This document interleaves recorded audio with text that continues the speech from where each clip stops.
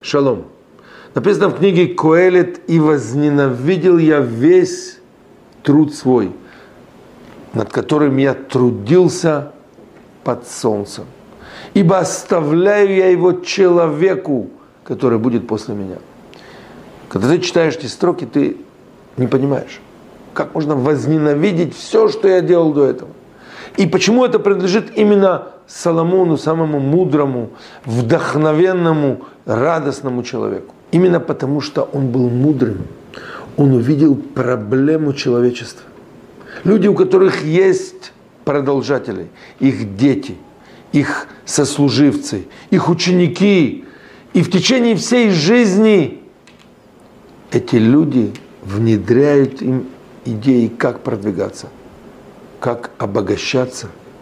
Слово «под солнцем» намекает про те деяния, которые делаются для земных утех, для обогащения, для наслаждения.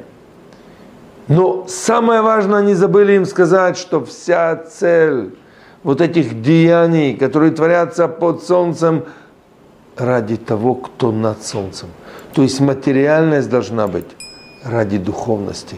И тогда в совокупности это даст прекрасную вещь. Тогда человек, который прожил жизнь, он не будет жалеть, что он прожил ее зря.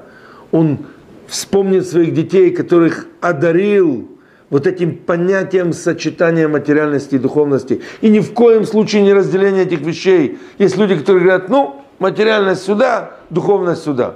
Но Бог, Он не только в синагоге. Он и в нашем сильном, кипучем мире искушения и неправды. Всевышний находится здесь тоже. Его надо найти. И вот этот момент, когда мы можем подарить, это великий дар, когда ты даришь людям понятие, что в материальности есть много духовности.